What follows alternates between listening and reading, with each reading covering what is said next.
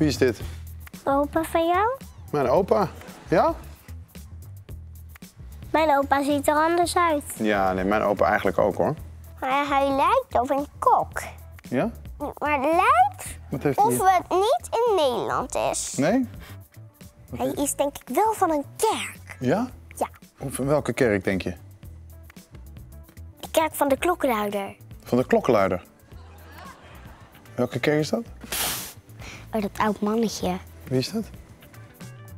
De pauw van een... eh, De pauw. En wat, doet- wat doet hij dan? Wat, wat is het voor iemand? volgens mij is het iemand die vrede sluit omdat hij zijn kettingje om heeft. Wat betekent dit dan? Het ru- kruis van Jezus. Oké. Maar hij lijkt op een kok. En wa- wat is dit wat u om zijn nek heeft? Een zwaard? Een zwaard.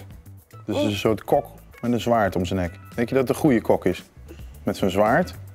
Als er gevaar is, dan pakt hij zijn zwaard van zijn nek. Moja!